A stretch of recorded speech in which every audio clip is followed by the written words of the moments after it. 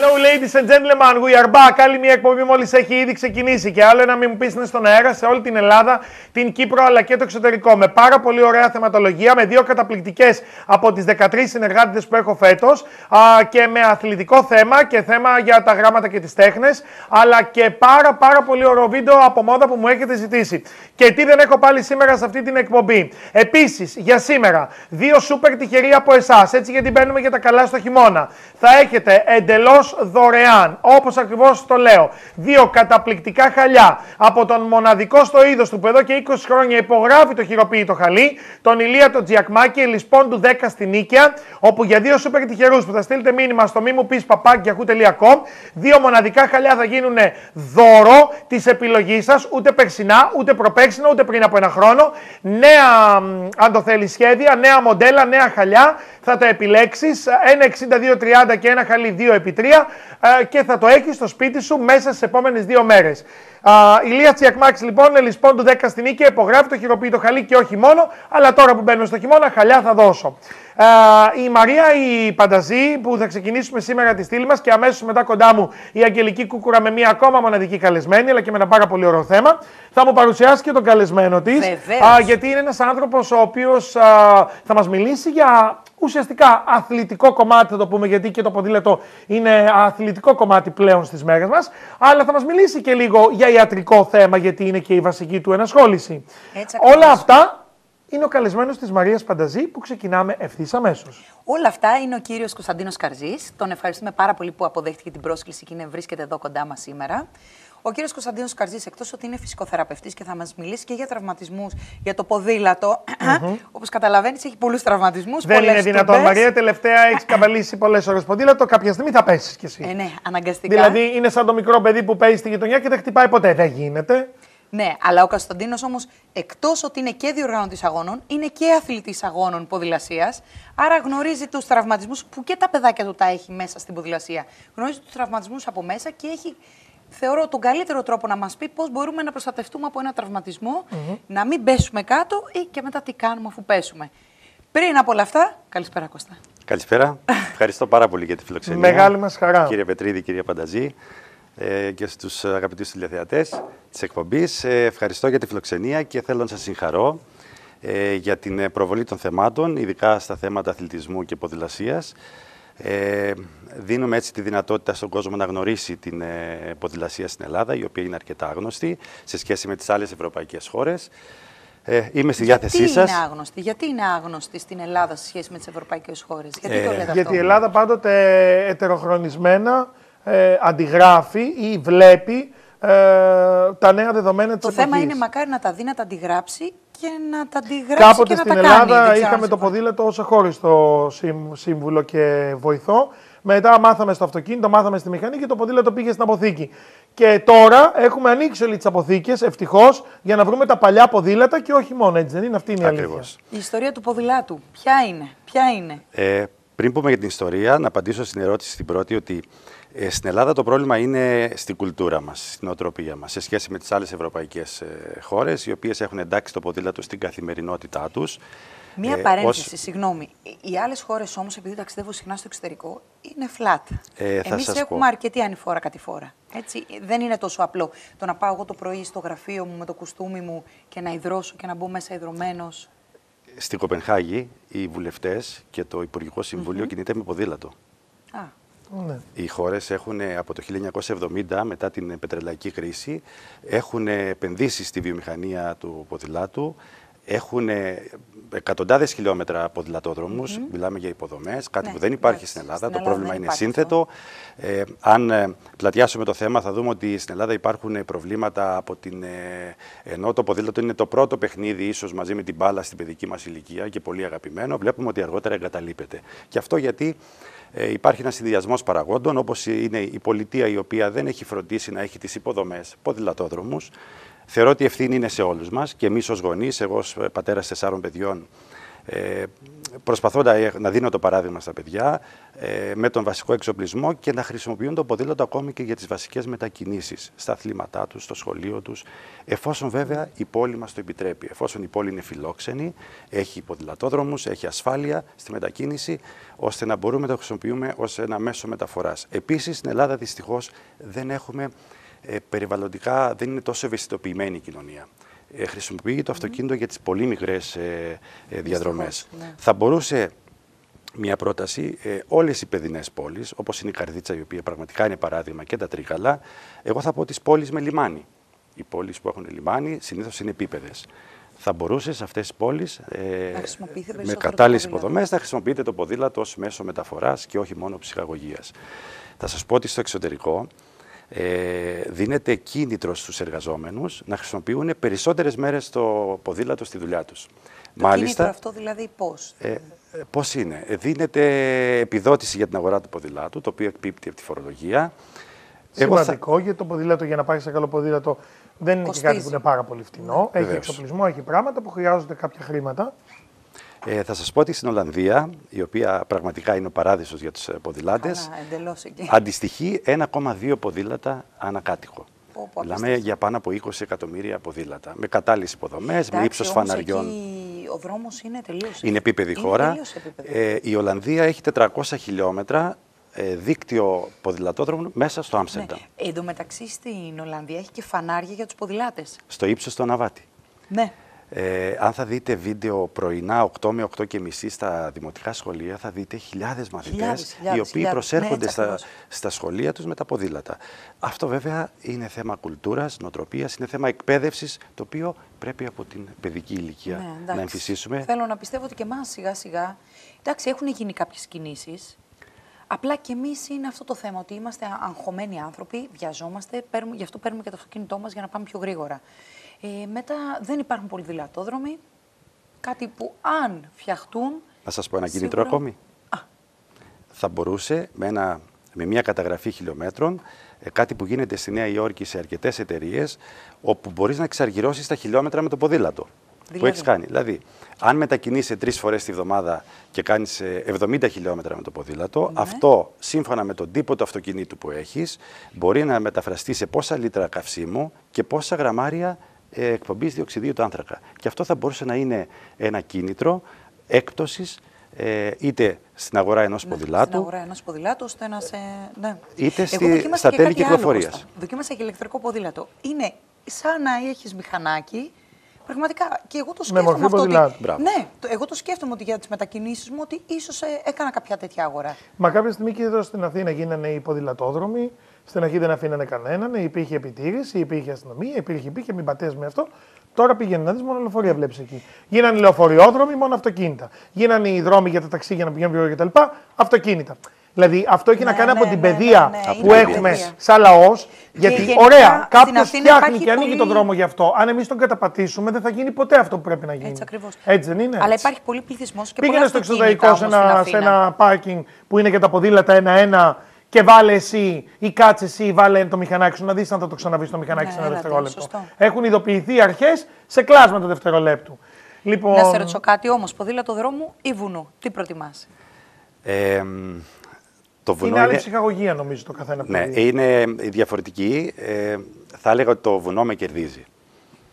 Ε, το βουνό είναι πιο παραίσθηκο, είσαι κοντά στη φύση, έχει μεγαλύτερη πρόκληση, ε, απαιτεί περισσότερες ικανότητες ισορροπίας τεχνικής γιατί έχει τα μονοπάτια. Ε, θεωρώ ότι αν και είναι τα τελευταία 40 χρόνια ήρθε το mountain bike, το 1970 έχουμε τα πρώτα mountain bike. Άκου να δεις. Ναι, ε, θεωρώ ότι είναι ένα πολύ διαδεδομένο τελευταία ε, με τους όλους τους αγώνες που γίνονται το οποίο δίνει πραγματικά ευχαρίστηση γιατί είσαι κοντά στη φύση. Ναι. Αγώνες, ναι. αγώνες. Ο Κώστας ο Καρζής έκανε τους αγώνες στην Πρέβεζα που είχα πάει στον Αχαίροντα ποταμό, που είχα πάει εκεί γύρω στις 10-12 Αυγούστου, 15 ε, πότε ήταν. 13 Αυγούστου. 13 Αυγούστου και ήταν μαγικά. Ήταν στους πρόποδες του Αχαίροντα, μέσα σε μια μαγική φύση. Υπάρχει και. Βλέπουμε και το βιντεάκι κιόλας. Φοβερά μονοπάτια. Πολύ δύσκολος αγώνας. Ήταν όλη την ώρα πάνω κάτω, πάνω κάτω, πάνω κάτω. Αλλά ήταν υπέροχο. Όλα καθαρά, το, όλα περιποιημένα. Ε, ε, βλέπουμε ότι τα τελευταία, τουλάχιστον εγώ παρατηρώ μέσα από τα θέματα μας, τα τελευταία δύο-δυόμιση χρόνια, δεν ξέρω για πιο παλιά, ότι υπάρχει μια έτσι, συνεχόμενη ροή προς το ποδήλατο ανθρώπων που δεν το σκεφτόντουσαν, που δεν. Δηλαδή, βλέπω φίλους μου οικογενειάρχες που πήγαν το ποδήλατο και τη γυναίκα τους και το Σαββατοκύριακο γιατί κάναν και νέες παρέες, κάνουν και εκδρομές, κάνουν και αναζητήσεις. Δηλαδή, βρίσκεις και καινούργια πράγματα και δεδομένα. Από το να βγαίνουν στο ίδιο καφέ, στο ίδιο εστιατόριο, Ακριβώς. στο ίδιο κλαμπ, προτιμούν αυτά τα έξοδα να τα κάνουν και να φύγουν με μια ομαδούλα και να πάνε στη Λαμία, στη Λάρισα, στη Φτιότητα, στο Καρπενής, δεν ξέρω πού, να κάνουν το ποδήλατό τους, να πάτε να φάτε, να γελάσετε, να περάσετε καλά. Είναι λίγο και πιο παρείστικο. Δεν είναι απαραίτητα αυτό το ε, πάμε ποιος θα βγει πρώτος, πάμε στον αγώνα. Ακριβώς. Δηλαδή πλέον έχουν γίνει και λίγο απόδραση όλοι αυτοί οι αγώνες. Έτσι δεν είναι; Ε, θα έλεγα ότι το ποδήλατο εκτός από ψυχαγωγικό μέσο ε, συμβάλλει και στην πρόληψη της υγείας και της ε, ε, ψυχικής και της σωματικής. Ε, θα δούμε ότι τελευταία χρόνια, όπως είπατε, πάρα πολλοί κόσμος ασχολείται. Υπάρχουν πάρα πολλοί αγώνες. Σε κάθε χωριό βλέπουμε ότι διοργανώνονται αγώνες ορεινής ποδηλασίας, ορεινό τρέξιμο. Εγώ πραγματικά χαίρομαι γιατί δίνεται ευκαιρία ε, σε πάρα πολύ κόσμο να συμμετέχει. Ε, έχω Μα τις ενστάσεις μου όμως. πλέον σε αυτά τα μέρη. Ξέρεις, ναι. Είναι και αυτό βασικό. Πηγαίνουν, αφήνουν χρήματα. Γιατί σίγουρα όταν θα πάμε κάπου μακριά θα πάμε σίγουρα μία μέρα νωρίτερα. Η ποδηλασία μπορεί να είναι στο θεματικό τουρισμό, όπως είναι ο ιαματικός τουρισμός, ο συνεδριακός τουρισμός, ο ιατρικός τουρισμός. Θα μπορούσε να είναι και ο ποδηλατικός. Πραγματικά έχουμε απίστευτες ε, πίστες, ε, βουνά, ε, ποτάμια, λίμνες, όπου θα μπορούσε να είναι ένα concept του ποδηλατικού τουρισμού, πραγματικά να δώσει μια ώθηση στις τοπικές κοινωνίες και ανάπτυξη ε, στη χώρα μας. Άρα θα συνεχίσεις τους αγώνες, έτσι. Θεωρώ πως ναι, η παρακαταθήκη είναι πολύ βαριά, είναι τρίτο έτος φέτος, ε, κάθε χρόνο είμαστε και καλύτεροι. Η διαφορετικότητα των αγώνων που οργανώνουμε στην Ήπειρο είναι ότι κινούνται σε ορεινό δίκτυο σε μονοπάτια. Πρόκειται για παλιά μονοπάτια του 1930. Πω, πω και πολύ ωραία τοπία. Τα οποία... Πρέπει να έρθεις, Αλέξανδρε, φέτος. Ναι, φέτος θα πρέπει, πρέπει να έρθει. Πρέπει, να, πρέπει να έρθει. Δηλαδή, θα πω δύο λέξεις. Αχαίροντας και Σούλη ε, το μυθικό ποτάμι Αχέροντας Σαφώς και, και το, το Σούλι. Οπότε υπάρχει η ιστορικότητα της περιοχής, ε, υπάρχουν οι θρύλοι γύρω, γύρω από τον ναι, ναι. Αχέροντα, ε, τα μονοπάτια μας κινούνται γύρω από το ποτάμι από τον Αχέροντα, πραγματικά. Ε, έχει γίνει αξιόλογη προσπάθεια, έχουν συντηρηθεί και ε, τώρα γίνεται η μόνιμη σηματοδότηση. Μιλάμε για 32 χιλιόμετρα μονοπάτια, τα οποία είναι μέσα σε πυκνή βλάστηση. Οι αγώνες, όπως ε, είδατε, ήταν οργανωμένοι με εθελοντές. Ε, και μετά, Αλέξανδρε, ένα άλλο στο τελείωμα, θέλω, θέλω, στο τελείωμα υπήρχε φαγητό, όπως υπάρχει και στους περισσότερους αγώνες, και δεν ήταν η κλασική μακαρονάδα. Είχε πέστροφα που ήταν από το ποταμό, έτσι. Από τον Από το, ναι, με πατάτα βραστή. Μιλάμε, ήταν που στην αρχή λέω, τώρα θα φάω εγώ ψάρι. Εντάξει. Πιο νόστιμο ψάρι δεν έχω ξαναφάει. Θέλω λίγο να πάμε, αν και μπορούμε να κάνουμε μια άλλη ζήτηση γι' αυτό, γιατί είναι ένα άλλο θέμα το, θέμα το της βασικής του ενασχόλησης ε, του Κώστα της α, φυσιοθεραπείας και όλο αυτό το κομμάτι έχει πάρα πολλά μικρά μονοπάτια που μπορούμε και εκεί να περπατήσουμε.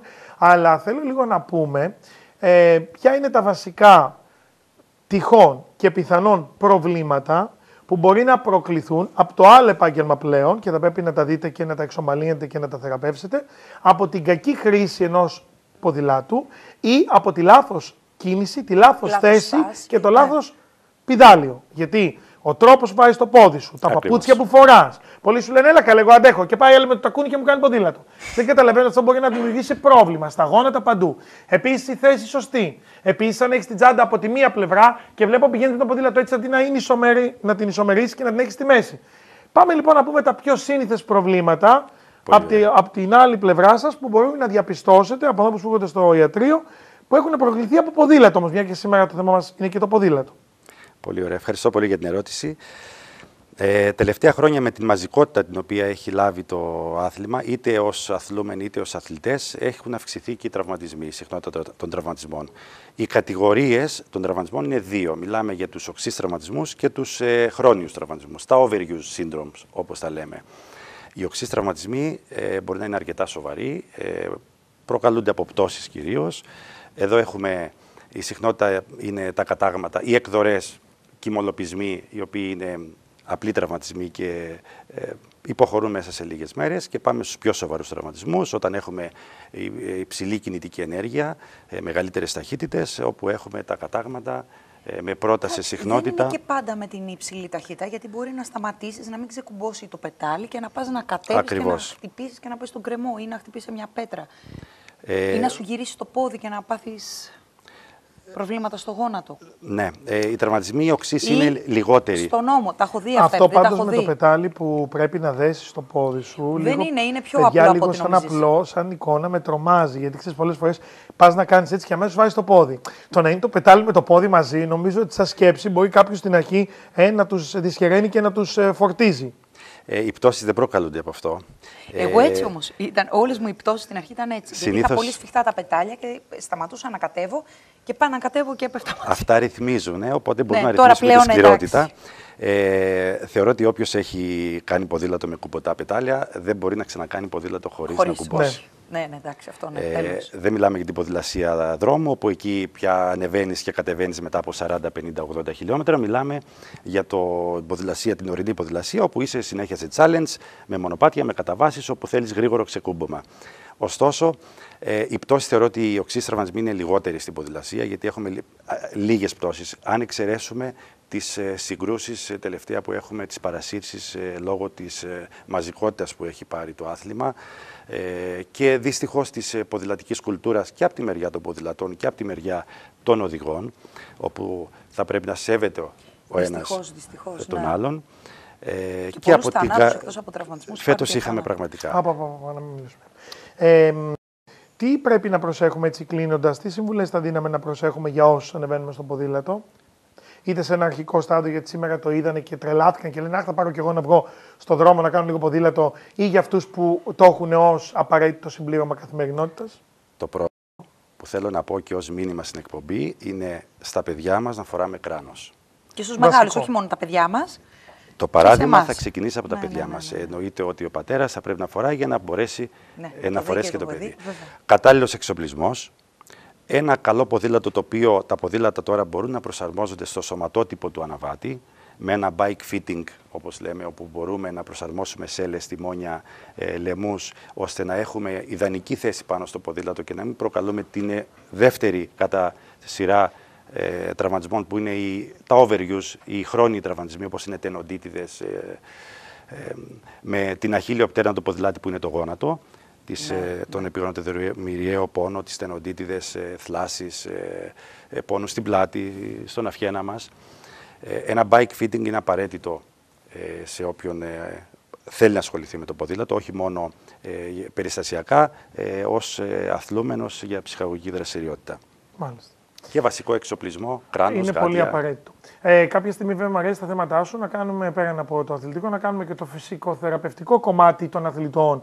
Γιατί υπάρχουν πάρα πολλά Τραυματισμοί, χτυπήματα. βεβαίως πράγματα που Ναι. μπορούμε να εξηγήσουμε. Ε, και να ευχαριστήσουμε πάρα πολύ και να συνεχίσει το έργο και να οργανωθείτε βέβαια για το χρόνο το καλοκαίρι. Το Βέβαια. καλοκαίρι ήταν. Ναι, θα έρθεις όμως φέτος. Φέτος, αν μου το έχετε πει πολύ πριν, θα έρθω. Αν μου το πεις 10 Αυγούστου, δεν θα μπορέσω. Όχι, εντάξει. Λοιπόν, Η πρόσκληση ισχύει. ναι, εντάξει. Ευχαριστώ πάρα πολύ. Α, Ευχαριστούμε πάρα πολύ. Καλή Ευχαριστώ. συνέχεια. Ευχαριστώ Α, πολύ. αποδεσμεύω και τη Μαρία Πανταζή να πάρει το ποδήλατό της και τον α, ε, φυσικό θεραπευτή της και να μπορούν να την κάνουν που λέμε με ελαφρά. Αλλά υποδέχομαι την αγαπημένη Αγγελική Κούκουρα από τα γράμματα και τις τέχνες με μια ιδιαίτερη καλεσμένη γιατί σήμερα θα μιλήσουμε για την ιστορία του χτενίσματος, του κουρέματος, γενικότερα για το μαλλί μας, γιατί όλα τα πράγματα έχουν την ιστορία. Eyes in the sky, gazing far into the night. I raise my hand to the fire, but it's no use, cause you can't stop it from shining through. It's true, baby, let the light shine through. If you believe it's true, baby, won't you let the light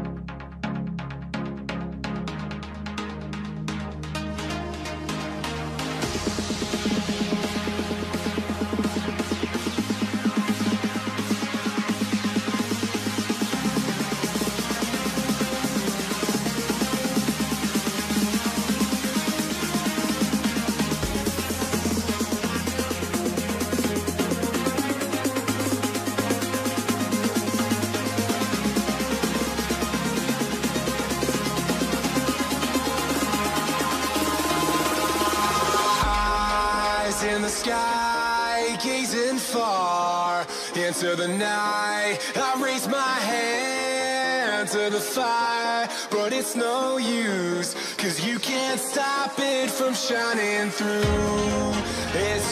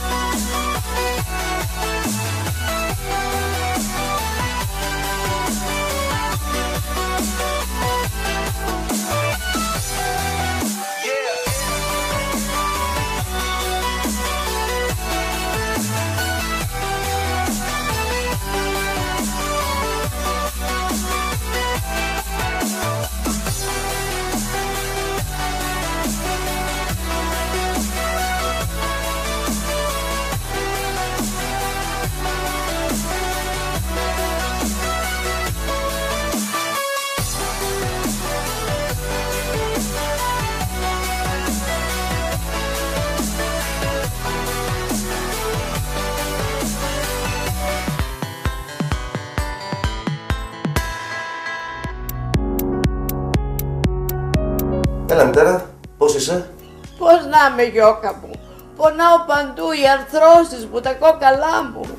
Δεν είμαι καθόλου καλά γόρα. Να τρέξεις να πάρεις αρθρολέν. Η Ελένη Νύφους και εγώ με το αρθρολέν σωθήκαμε. Πώς το πες, αρθρολέν; Αρθρολέν. προστατεύει τις αρθρώσεις από τη γύρανση, διώχνει τις φλεγμονές, βοηθάει την ανάπλαση των αρθρώσεων. Για τις αρθρώσεις, αρθρολέν. Αρθρολέν, από την Έλογγις Φάρμα. Τηλέφωνο 210 62 51 080 και σε όλα τα φαρμακεία. Με το αρθρολέν σώθηκα. Σώθηκα γε μου.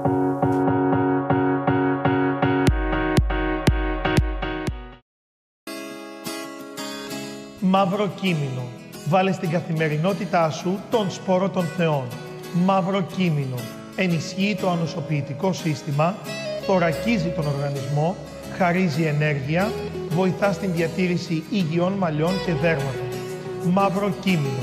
Ζητήστε το σε όλα τα φαρμακεία αποκλειστικά από την John Noah. Μαύρο κείμενο. John Noah. Η υγεία μέσα από τη φύση.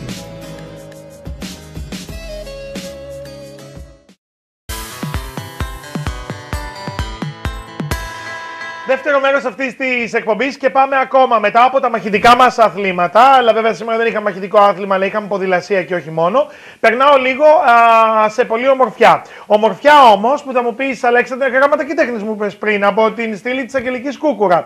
Ναι, και ποιος σου είπε ότι η ομορφιά δεν έχει και αυτή την ιστορία της; Ποιος σου είπε ότι το χτένισμα ή ας πούμε η περιποίηση, το κούρεμα ή οτιδήποτε τέλος πάντων κάνει μια γυναίκα ή και ένας άντρας για να ανανεωθεί δεν έχει και αυτό την ιστορία του. Διότι πολιτισμός, γράμματα, τέχνες είναι οι παραδόσεις, Αγγελική Κούκουρα, είναι τα πάντα στη ζωή είναι αυτή. και η, έτσι, τε- δεν η είναι; κομμωτική είναι μια τέχνη. είναι μια τέχνη και έχει και αυτή την ιστορία της και τον πολιτισμό της. Και θα μιλήσουμε για την τέχνη αυτή από την αρχαιότητα και σε όλους τους λόγους μέχρι σήμερα. Και μια καλεσμένη μόνο. δεν θα μπορούσε να είναι ε, καμία άλλη από μια πάρα πολύ ο- ε, καλή και πολύ ιδιαίτερη κομμότρια που έχει επιμεληθεί και το δικό σου Ναι, ναι. α, σήμερα ε, κούρεμα και χτένισμα και όχι μόνο, κάθε φορά που εμφανίζεσαι. Η κυρία Νότα Καλογεροπούλου που είναι εδώ κοντά μας από το κομμωτήριο Νότα νομίζω. Ε; Έτσι ακριβώς, από το όνομά σου ε, στην Ανθούπολη και στη Λεωφόρο Θηβών συγκεκριμένα. Ακριβώς, το Ε, δύο, 66. 2,66. Α, η Νότα Καλογεροπούλου, όπου σήμερα θα κάνουμε ένα πάρα πολύ ωραίο θέμα γενικότερα όμως για τα χτενίσματα και για την ιστορία. Θα μας πει και πέντε πράγματα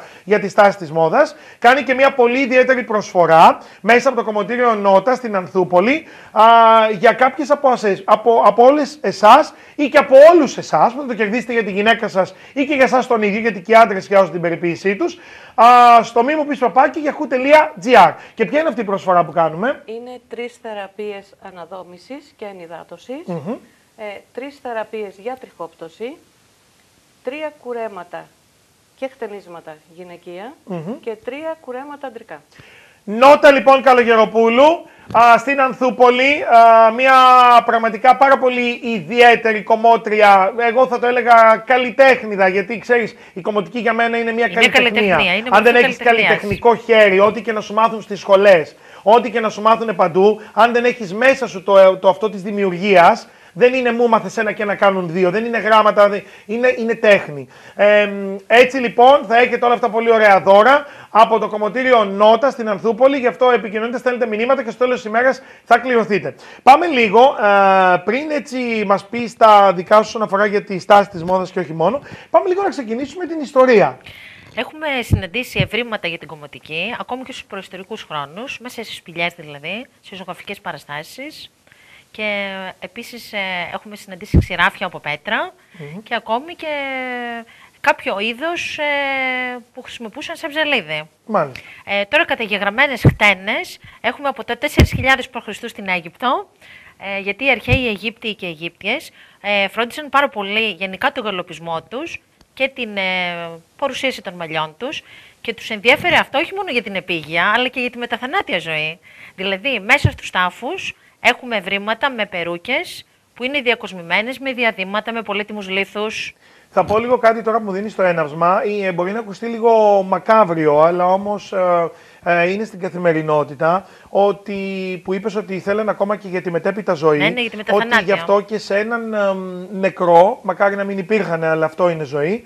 Ε, είτε άντρα είτε γυναίκα, ε, τις περισσότερες φορές, εκτός ελαχίστων περιπτώσεων, είναι πιο περιποιημένοι, πιο βαμμένοι, πιο χτενισμένοι και πιο καλοντημένοι από ποτέ. Έτσι δεν είναι, παιδιά. Γι' αυτό υπάρχουν και ειδικοί άνθρωποι που κάνουν και αυτοί όλη τη δουλειά. Και αυτό είναι πάρα Έχει πολύ μακιγέρο ο σωστό. οποίος θα τη βάψει, θα τη στολίσει. Δηλαδή δεν είναι τίποτα τυχαίο αν το ψάξεις ιστορικά. Καλά, οι αρχαίοι Αιγύπτιοι έδιναν μεγάλη βάση σε αυτό. Υπήρχαν ειδικοί επαγγελματίες για όλο αυτό, τώρα που είπαμε γι' αυτό. Δηλαδή που έκαναν και την τέχνη της ταρίχευση, έτσι. Σαφώς. Ναι. Ε, λοιπόν, οπότε ε, το, η, το 3.500 περίπου π.Χ. εμφανίστηκαν ε, οι πρώτοι κουρίς ε, στην Αίγυπτο. Και το 2000 π.Χ. Ε, έκαναν ε, ένα είδος αμπουάν, το οποίο ήταν νερό με, αναμεμειγμένο με ε, εσπεριδοειδή, με χυμό εσπεριδοειδών. Μάλιστα. Έχουμε συναντήσει και την Κλεοπάτρα που τη βλέπουμε το 35 π.Χ. περίπου, που είχε στολισμένες τις περούκες της και τα μαλλιά της με πολύτιμους λίθους, ελεφαντόδοντο, άλλα διαδήματα. Ε, και στην αρχαία Αίγυπτο ήταν πολύ τιμητικό να ασχολείσαι με την περιποίηση των μαλλιών, γιατί οι άνθρωποι αυτοί που το έκαναν αυτό αρχικά ήταν οι ιερείς ή γιατροί. Ε, γιατί πίστευαν ότι μέσω διαμέσου των μαλλιών ε, μπορούσαν να εισέλθουν τα κακά πνεύματα. Γι' αυτό Α, λοιπόν έκοβαν τα μαλλιά για να μπορέσουν να τα αποδείξουν. Απίστευτο. Τα ήξερες όλα αυτά ιστορικά; Είναι Ε, πολύ ενημερωμένη Και η Νότα, τα διαβασμένη. ξέρει και διαβασμένη. ναι, ναι. Ε, Για πάμε να συνεχίσουμε. Στην αρχαία Ελλάδα τώρα θα ήθελα να πω τι γίνεται. Η οποία όπως ξέρουμε, όπως είπες και πριν, γι' αυτό είναι και η κομμωτική, είναι μια τέχνη, ε, πολύ υψηλή. Ε, η αρχαία Ελλάδα ήταν το λίκνο του πολιτισμού, των γραμμάτων, αλλά και της ομορφιάς σαφώς. Ε, οι περισσότεροι αρχαίοι Έλληνες και Ελληνίδες είχαν μακριά μαλλιά, εκτός από τους αρχαίους Μακεδόνες, ε, οι οποίοι είχαν πιο κοντά μαλλιά, γιατί τους το είχε επιβάλει ο Μάγας Αλέξανδρος μετά από τη μάχη των Αρβιλών, για να είναι το χτένισμά τους, το κούρεμά τους, ε, πιο βολικό για, την, ε, για τις πολεμικές σειράξεις. Οι, οι αρχαίες Ελληνίδες, ε, οι αρχαίες Αθηναίες θα στόλιζαν με κορδέλες τα μαλλιά τους ή με κάποια μορφή πέπλου, με φρέσκα λουλούδια, ακόμη και με σκόνη χρυσού. Και τα έπλεκαν και σε περίτεχνα χτενίσματα, κοτσίδες, πλεξίδες γύρω από το, ε, γύρω από το κεφάλι, έτσι, μου το κάνεις μια φορά έτσι, Νότα. Ναι, και είναι και πολύ μόδα αυτό. ναι, εκεί ναι, έξω. είναι και πολύ μόδα. Ναι, ναι, ναι. Και εσύ έχεις και πολύ πλούσιο μαλλί. Νομίζω Ναι, ναι. ότι η- Πρέπει να είναι το η κάνω αυτό χαρά το σου η χτένισμα, Αγγελική, έτσι. ε. Εγώ βρίσκω καμβά και κεντά. Ναι, είναι η χαρά σου να έχει πλούσιο και δικό της μαλλί μια γυναίκα να μπορείς να το τραβήξεις, να το κάνεις, να το. Αυτό Πολύ το σημαντικό. χτένισμα πρέπει να το κάνω το γύρω-γύρω, έτσι. Ναι, ναι, ναι, ναι. οι, αρ- οι αρχαίοι Ρωμαίοι είχαν κοντά μαλλιά με μυτάκια και οι αρχαίες ε, Ρωμαίες φορούσαν πολλές φορές και περούκες με, στις διάφορες ώρες της μέρας. Επίσης ήθελα να προσθέσω ότι και στην αρχαία Ελλάδα και αρχαία Ρώμη χρησιμοποιούσαν διάφορες, διάφορους τρόπους για να βάψουν και τα μαλλιά τους, που το έβαφαν και κόκκινο και ξανθά και μαύρα, έτσι δεν είναι νότα; Ε, και χρησιμοποιούσαν και φυτά όπως τη χένα, ε, επίσης το κιναβάρι, ε, λίπος αιγίδας σε συνδυασμό με στάχτη οξιάς, αλλά και κάποιες έτσι, πιο επικίνδυνες ουσίες νομίζω, όπως ανθρακικό μόλιβδο, έτσι, για να πετύχουν κάποιο χρώμα. Ναι, που τότε δεν υπήρχαν τα χημικά μέσα για να μπορέσουμε Ναι, να έχουμε ναι, το και χάλκινο, προσπαθούσαν να το βρουν κάποιο κόκκινο και τρόπο. όλα Όχι, τα αυτά. έπαιρναν. Ε, ποια ήταν τα χρώματα, ε, Νότα, αν ξέρεις έτσι, τι, τι, τον, της αρχαίας εποχής τα πιο διαδεδομένα. Νομίζω ότι το, το μαύρο μπλε που λέμε εμείς σήμερα, το κατράμι, Ακριβώς. οι αρχαίες Ελληνίδες νομίζω, πα- και πάρε και από Κλεοπάτρα και από Αίγυπτο και από αυτά, Ναι. νομίζω Ήτανε ότι το- ήταν το- της το- Ήταν μοιραίας. τις μόδες, το μαύρο. έτσι; Ναι, και το το κόκκινο νομίζω, Το ξανθό έτσι. ήρθε λίγο αργότερα. Αργότερα, αργότερα. Και ήταν και πιο δύσκολο φαντάζομαι στην αρχαιότητα να το πετύχουν αυτό, έτσι δεν είναι; Ε, σίγουρα.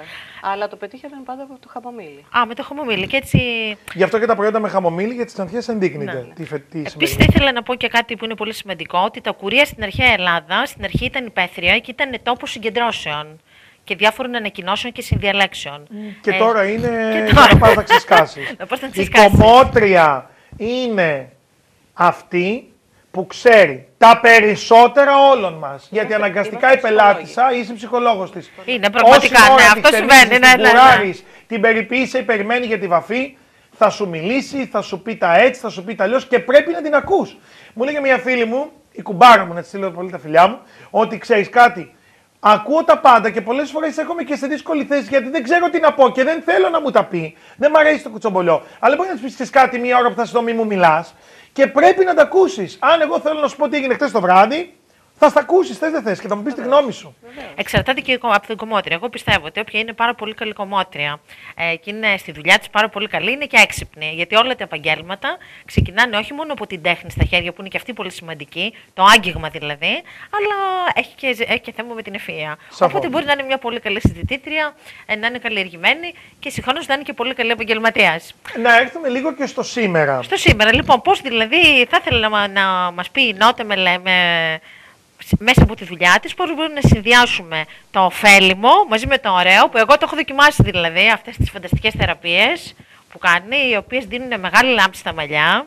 Ε, και το χρώμα έχει διάρκεια, αλλά να ξεκινήσουμε από τις βαφές πρώτα. Σταθεροποίηση, Ναι, βεβαίως. ναι. Θέλω λίγο να έρθουμε στο σήμερα και να πούμε. Ε, επιλέγει μια γυναίκα μια βαφή. Πάρα πολλές οι μάρκες, πάρα πολλές οι εταιρείε, πάρα πολλά αυτά που μας τάζουν. Ε, όμως που σίγουρα είναι ένα χημικό προϊόν. Αλλά υπάρχουν και οι φυτικές βαφές που σου λένε ότι δεν κάνουν τίποτα στα μαλλιά, αλλά κρατάνε πιο λίγο. Ναι. Τελικά, σαν νότα, μετά τόσα χρόνια εμπειρίας, φυτική βαφή για πιο λίγο ή καλή ακριβή βαφή χημική, ε, επώνυμη για πιο πολύ; Λοιπόν, η φιλοσοφία του δικού μας μαγαζιού είναι να έχουμε μέσα στο μαγαζί προϊόντα με εθέρεα έλαια. Που είναι, αυτά βγαίνουν από την παλόμενη καρδιά των φυτών. Καμία βαφή δεν είναι φυτική. Όλες έχουν επεξεργασία, αλλά κοιτάμε να είναι τα πιο απαλά, τα πιο αγνά. Αυτές τις βαφές λοιπόν χρησιμοποιούμε στο μαγαζί μας. Αυτές Οι έχουν οποίες την ίδια διάρκεια νότα με τις, Έχουνε με τις την άλλες. ίδια διάρκεια, έχουν καλύτερο κράτημα, ε, εισχωρούν περισσότερο στα λέπια της τρίχας. Γιατί έχουν και μια ουσία μέσα, όπως Θα σου το την πω, είπαμε. θα Ναι, σου ναι, πω. ναι. Λοιπόν, ε, αυτές δεν έχουν μέσα αμμονία, δεν έχουν αλκοόλ, ε, Parabens, είναι free parabens. ναι, είναι άοσμες και για να ανοίγουν τα λέπια έχουν βρει την εθαλοδιαμίνη και έτσι μπορούν να εισχωρούν. Ε, Λέει μια γυναίκα ότι πιάνει πολύ περισσότερο η βαφή Ναι. όταν είναι αρκετά, αρκετ, αρκετές μέρες Άλλουστα. άλλουστη. ναι, αυτό δεν είναι. Το έχω Είναι ρωτήσει κι μύθος. εγώ. Είναι μύθος. Είναι μύθος. Το λένε αυτό να είναι άλλουστα, διότι πρέπει να μην έχουν ανοίξει ε, οι, Οι πόροι. πόροι. Μόνο γι' αυτό. Και επειδή εισχωρεί μέσα η, η αμμονία και όλα τα χημικά, τσούζει το κεφάλι. Αυτό εγώ το πάθαινα πάρα πολύ. Γιατί στην ουσία παλιά, όταν πριν, δεν ζώμαστε πριν γνωρίσω καλά, την νότα. αν δεις με ένα μικροσκόπιο το κρανίο, κάνει ένα πράγμα σαν νερό, αυτή η γλίτσα που έχουμε. Ναι, λοιπόν. Το τριχωτό της Ενώ κεφαλής με τις- δηλαδή. α. Με τις δικές μας τις βαφές, ε, με τα εθέρια έλαια ή με σκέτο λάδι πάλι χωρίς αμμονία, λούζουμε το μαλλί αν είναι βρώμικο και περνάμε ε, τη βαφή. Και εμένα αυτή ήταν η απορία μου, γιατί ένα μαλλί το οποίο Όσο- είναι κατσιβιασμένο δεν μπορεί να απλώσει πολύ καλά και να κουμπίσει όλη την Όσο- τρίχα η όσο βαφή, πιο σωστά. καθαρό είναι το μαλλί, τόσο καλύτερα εισχωρεί. Εάν το μαλλί απάνω έχει καψαέριο, έχει λακ, ε, Δεν μπορεί να μπει μέσα στο το περιποιητικά χρώμα. προϊόντα. ε, πώς Ναι. θα εισχωρήσει. Απλά είναι για να μην τζούζει το τριχωτό της κεφαλής. Ωραία.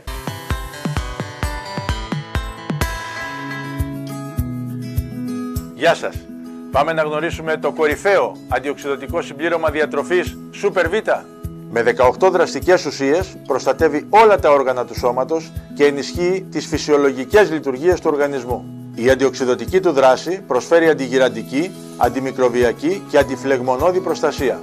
Απαραίτητο για άτομα με χρόνια κόπωση, ανεμία, διαβήτη, λοιμώξεις, αυξημένη χολυστερίνη, αρθρίτιδες, αυτοάνοσα, άγχος και γενικά έντονη καθημερινότητα. Θέλετε να είστε άτρωτοι, δυνατοί, υγιείς και πάντα νέοι; Super Vita. Γιατί σας αξίζει μια καλύτερη ζωή.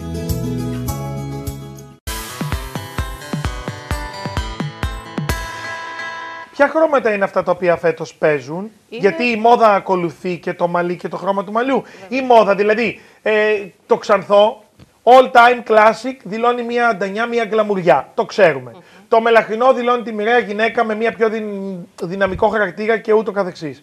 Όμως δεν έχει να κάνει με μόδα για μένα το χρώμα. Δεν πάει να πει ότι επειδή φέτος παίζουν τα χάλκινα, η Αγγελική θα βαφτεί χάλκινο, εσύ θα βαφτείς χάλκινο, η άλλη θα βαφτεί. Δηλαδή δεν Αλλά με είναι αυτό το που ρούχο. ταιριάζει στον καθένα Ναι. περισσότερο και που τον αντιπροσωπεύει. Αυτό είναι το θέμα. Το ταιριάζουμε στην κάθε προσωπικότητα του καθενός ανθρώπου. Αλλάζει η προσωπικότητα με το χρώμα του μαλλιού. Σου έχουν έρθει πελάτες που με το κόκκινο σου λένε κάτω με ένα κόκκινο να ανανεωθώ. Είδες μία άλλη προσωπικότητα, ένα άλλο πρόσωπο; Όχι, η διάθεσή της. αλλάζει. Είναι αλήθεια τελικά ότι η γυναίκα ξεσπάει στα νύχια και τα μαλλιά; Βεβαίως. Βεβαίως.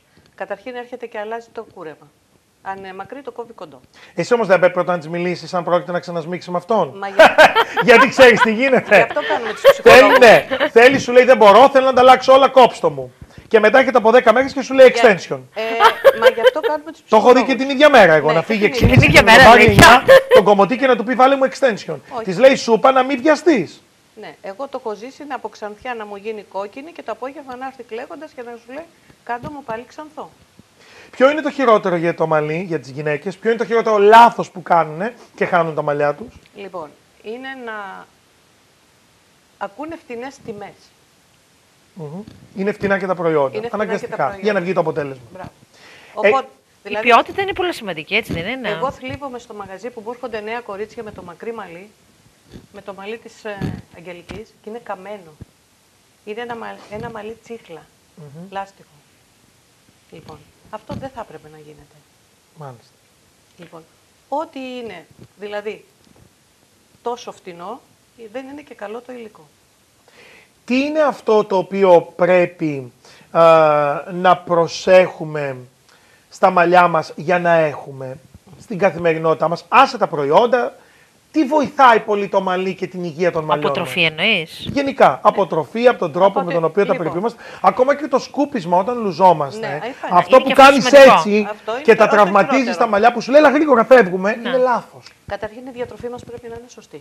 Τι πρέπει να μην λείπει ποτέ από τη διατροφή μας που βοηθάει τα νύχια και τα μαλλιά, γιατί αυτά πάνε συνήθως μαζί; Ναι. Ε, σίγουρα είναι όλα τα πράσινα τα λαχανικά, ε, οι πρωτεΐνες και Τα καλά λιπαρά. τα καλά λιπαρά. Να.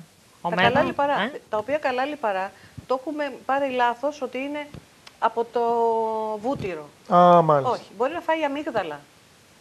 Α, μπράβο, Μπορεί πολύ. να Ο φάει μίξιρ αμύγδαλα. καρπί, πολύ, Ναι. Λοιπόν, πολύ μπορεί- ωφέλιμη τροφή. Τα οποία όντως τα μαλλιά τα κάνουν και λάμπουν. Ε, κοντό ή μακρύ επιτάση είναι, και τάση; τα, είναι και τα δύο. Είναι της μόδας οι ασυμμετρίες. Το μακρύ πολύ φιλαριστό. Το κοντό με ασυμμετρίες. Και σαν χρώμα είναι Πες μου, Τα ζεστά χρώματα. Ε. ζεστά χρώματα. έως ποια και θεωρείς ζεστά νότα. Ε, είναι τα χρώματα του κάστανου και πιο ανοιχτό, τα χάλκινα, ε, η, τα nude, Μμμ. που είναι φέτος πολύ της μόδας, και Διχρωμίες. τριχρωμίες. Τριχρωμίες. Τριχρωμίες, Ιδιαίτερες. ναι, τριχρωμίες.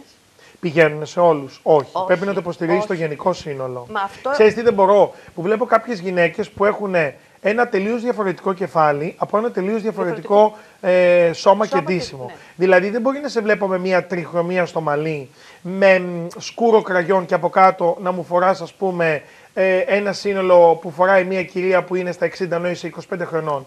Δηλαδή νομίζω ότι το μαλλί, το Πρέπει να μακιγιάζ δένει με το είναι όλο. όλο το σύνολο. Ο- το όλο concept. Ακριβώς. Δεν μπορεί ας πούμε, να μου έχεις ένα, Σωστά. ένα μαλλί το οποίο δεν δένει με το ντύσιμο ή ένα ντύσιμο που δεν δένει και να μου έχεις συνέχεια μία μπανάνα. Δεν μπορεί να μου φοράς ένα σκισμένο κολάν και συνέχεια το μαλλί να είναι μπανάνα. Τι Για παράδειγμα, ή κότσος. Έτσι είναι. Γιατί θέλει και το ατημέλητο. Ε, μακριά μαλλιά, κοντά μαλιά, μακριό, μακρύ καρέ, κοντό καρέ. Αλλά πάντα να είναι υγιή τα μαλλιά, ε. Ε, κοντό Σαφώς. καρέ, ναι, υγιή μαλλιά, κοντό καρέ, φέτος, φιλαριστό. Μακριά μαλλιά, φιλαριστά.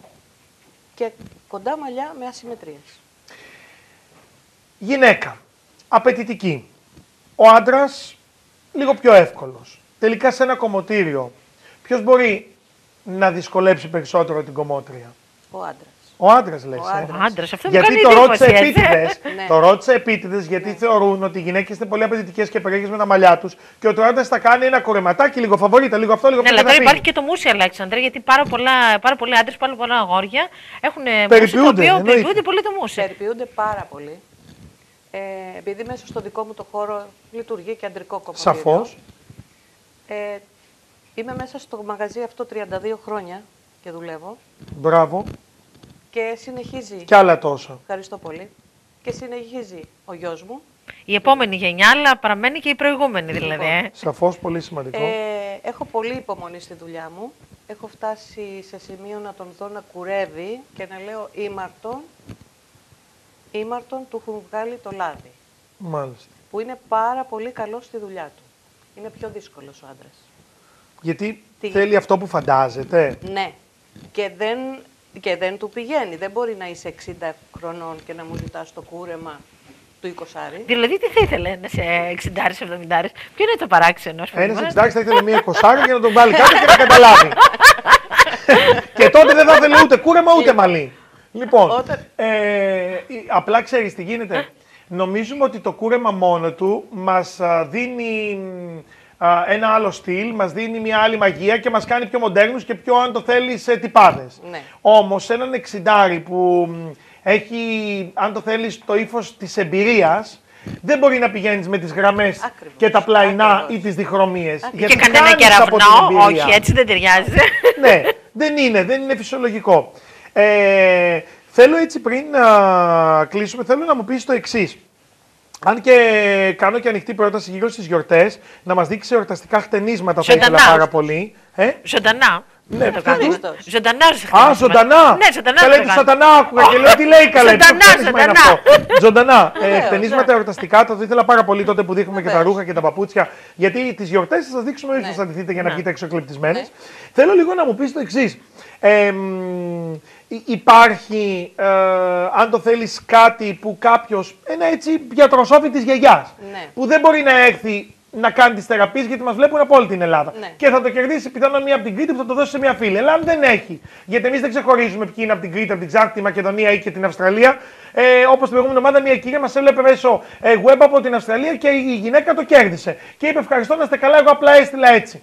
Ε, γιατί είναι με email και μπορεί να στείλει ο καθένας από όλο τον κόσμο. Ε, αν όμως κάποιος θέλει να του πούμε ένα ωραίο, μια ωραία μάσκα, μια ωραία περιποίηση με απλά προϊόντα που τα έχει στο ντουλάπι του, που να κάνει καλό στα μαλλιά του στο μια φορά τη βδομάδα. Τι δεν του προτείναμε, ε; Λαδάκι που έχει στο σπίτι του. Ελαιόλαδο. Καθαρό λάδι ελαιόλαδο. Ελαιόλαδο. Το βράδυ πρέπει να κοιμηθούμε με αυτό ή να το αφήσουμε για λίγο; Εάν κοιμηθούμε είναι το καλύτερα. Σε καθαρό όμως μαλλί. Γιατί κάνουν το λάθος σε άλλου το μαλλί να βάζουν το λάδι. Θέλει καθαρό, ε. Καθαρό μαλλί Και μετά ξαναλούσιμο. και ξανά λούσιμο. Τι δίνει αυτό στο μαλλί, δίνει ζωντάνια; Είναι όχι μόνο ζωντάνια, Λάμψη. όχι λάμψη. Ε, έχει τη βιταμίνη ε μέσα που ενυδατώνει κατευθείαν. Μάλιστα. Το μαλλί. Αυτό Και όμως παίρνει όχι νεύρο. συνέχεια, γιατί μην πάμε στο άλλο άκρο που πολλέ. Που να είναι, Όταν σου πει ναι, για μια θεραπεία, και πανθούν. αυτό το συζητήσουμε όταν μας Ναι. φτιάχνεις και τα κουρέματα, Ναι. τα χτενίσματα, ότι ξέρεις, πολλές σου λένε θεραπεία και σου λέει να έχουμε να μου το κάνεις κάθε μέρα. Ναι, δεν γίνεται. μα ε, στην περίπτωση αυτή μπορεί να το λαδώσεις το μαλλί σου, να το κάνεις Ε. προβληματικό μετά. Μα ό,τι το κάνεις σε υπερβολή είναι λάθος. Σωστά. Δεν πάει να πει ότι επειδή κάνει καλό στα μαλλιά ή κάποια στιγμή είχαμε πει σε μια φίλη μου ότι μία μ, ε, καψουλίτσα της αγοράς, μία βιταμίνη Ε, κάνει πολύ καλό στα μαλλιά. Ναι. Και Έβαλε μου λέει όλο το Αλέξανδρα, κουτί. εγώ το πήρα το κουτί, λέω καλέ προχτές την πήρα. Μου λέει πήγα τέσσερις. Βρήκε κοριτσάκι μου. το ότι κάτι κάνει καλό στα μαλλιά δεν σημαίνει ότι πρέπει, δεν έχουμε τελειώσει ακόμα την κουβέντα μας ε, για, να, για να ολοκληρωθεί και να πάρεις εσύ τέσσερα. Περίμενε να ακούσεις από αυτή που στο πρότεινε ότι θέλει μία κάθε πρωί. Δεν σου είπε η άλλη πάρω όλο το κουτί και αύριο θα γίνεις μακρυμαλούσα. δηλαδή αυτό είναι θαύμα, δεν είναι περιποίηση. Πάμε άλλη μια φορά να πούμε. Ευχαριστούμε πάρα πολύ την Νότα Καλογεροπούλου και το κομμωτήριο Νότα που είναι στην Ανθούπολη, λεωφόρο Θηβών 266. και κάνει τη μοναδική αυτή προσφορά που είναι. Τρεις θεραπείες αναδόμησης και ενυδάτωσης. Τέλεια, Τρεις θεραπείες τριχόπτωση. τέλεια. Τρία κουρέματα και χτενίσματα γυναικεία και άλλα τρία κουρέματα αντρικά. Ευχαριστούμε πάρα πολύ Νότα και ευχαριστούμε πάρα πολύ και την αγαπημένη Αγγελική Κούκουρα. Ευχαριστούμε, Συνεχίζετε να Αλέξανδρε. ομορφαίνετε τον κόσμο γιατί ξέρω ότι αλλάζετε και την ψυχολογία μέσα από ένα ωραίο χτένισμα και από ένα κούρεμα. Α, εγώ αποχαιρετάω με τα κορίτσια μου, φεύγω έτσι για να μάθω κι άλλα για τα μαλλιά, αλλά δεν φεύγετε εσείς. Μείνετε συντονισμένοι γιατί τα καλύτερα έρχονται. Γεια σας.